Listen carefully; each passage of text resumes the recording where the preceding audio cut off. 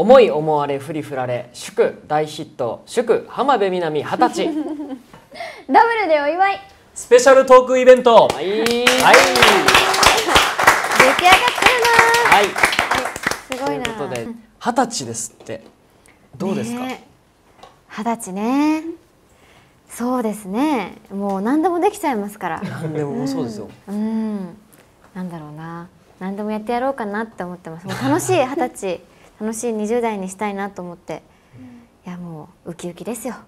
いやウキウキしてるみなみちゃんなんですけどまあさっき飾り付けの話もありましたけどもあのーまあベタですけど抱負？ん？抱負？抱負？二十歳の抱負？抱負ね。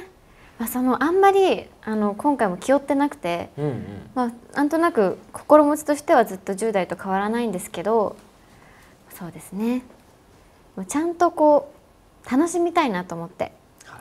まあ、青春でもう今から遅れるみたいななんか結構言われてうん今からでも全然青春できるし、いろんな思い出一緒に作ろうよっていろんな人に言ってもらえてだからなんかそういう二十歳にもしたいし20代にしたいしだからプライベートもお仕事も両方充実させていきたいなって思ってます。いいですね。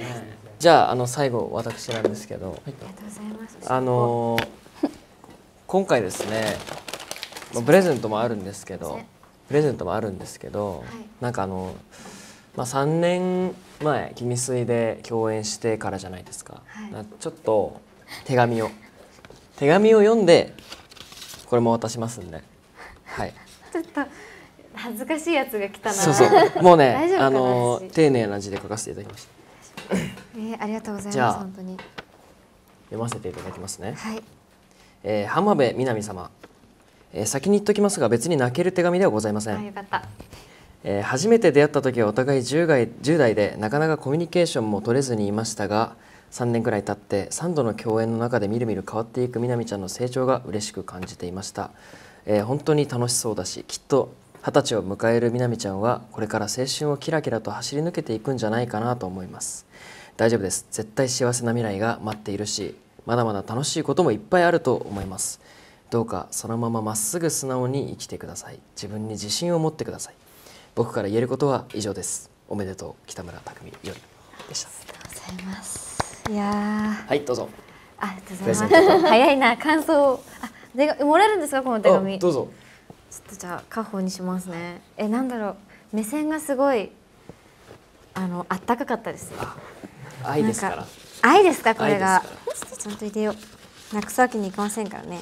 でもやっぱこうしっか3年みたいなしかも君水でってなるとなんか不思議な気持ちでしたねやっぱりね。あ本当ですうん。か、なんか手紙書いててなんかこう感動とかじゃなくて幸せを願うっていう 立ち位置。そうそう。いやもうこれからどんどん幸せになってくれって思いながら書いてました。はい。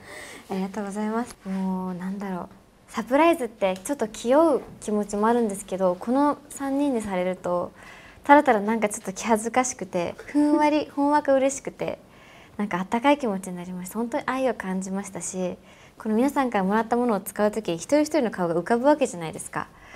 もうなんかそういうミニマリストになりたいなと思って。